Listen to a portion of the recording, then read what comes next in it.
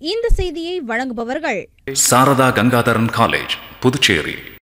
Ravi colours. இது Ravi departmental ஸ்டோர்ஸின் ஒரு அங்கம் மல்டி பிராண்டட் இன்னோவேஸ் எக்கச்சக்க மாடல்கள் டிசைன்கள் varieties and collections nighties night suit sports wear track pants என அனைத்தும் ஒரே இடத்தில். பெண்களுக்கான உள்ளாடைகளுக்கென்றே ஒரு பிரத்யேக showroom Ravi colours. Raja theatre signal அருகில் நேரு வீதி புதுச்சேரி.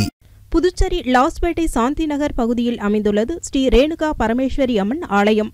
இந்த ஆலயத்தில் துணை செயலாளராக உள்ள பரமசிவம் என்பவர் லாஸ்பேட்டை காவல் நிலையத்தில் அளித்துள்ள புகாரில் வழக்கம் போல் கோவில் நடை சாத்தப்பட்டு பின்பு காலை ஒன்பது மணிக்கு கோவில் நடை திறந்தபோது கோவிலில் இருந்த உண்டியல் மர்ம நபரால் உடைக்கப்பட்டு பணம் திருடி இருந்ததாகவும் சிசிடிவி காட்சிகளில் அந்த மர்ம நபர் பதிவாகி உள்ளதாகவும் தெரிவித்துள்ளார்.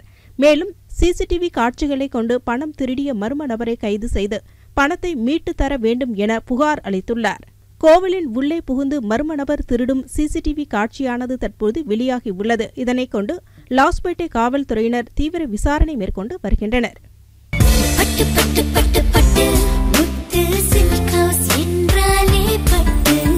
முத்து பாண்டிச்சேரி. ராஜா தியேட்டர் சிக்னல் அருகில் மட்டும்.